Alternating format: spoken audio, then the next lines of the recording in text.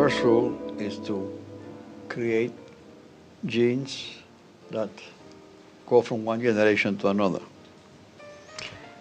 If you don't have the genes, don't, don't worry. Make sure you have very, very good executives and make sure uh, the children become owners but not executives. Uh, I think that's a better combination. Getting uh, very good people around you, very entrepreneurial people around you uh, that agree with you, but I can also uh, sometimes guide you uh, into new ways of doing business or uh, new, uh, ventures.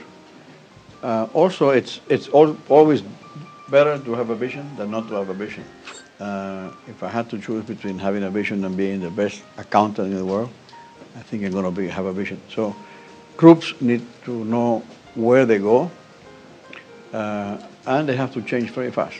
I think the other part that is very important is that it's the responsibility of the older generation to also pass the, me the message along uh, that family values um, have to go beyond the home. I mean, family values at the end are what make a business into a family business.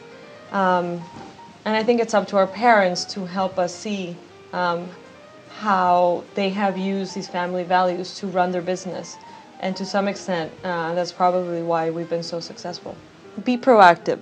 Form the family council as soon as possible. Have a structure, have a plan, take it very seriously. The family council is like a business unit, and it has the people in the family council have to behave as if they were in a business meeting. Follow up, um, and do it early, I would say. Yeah, do it early and well, and make sure that everybody is happy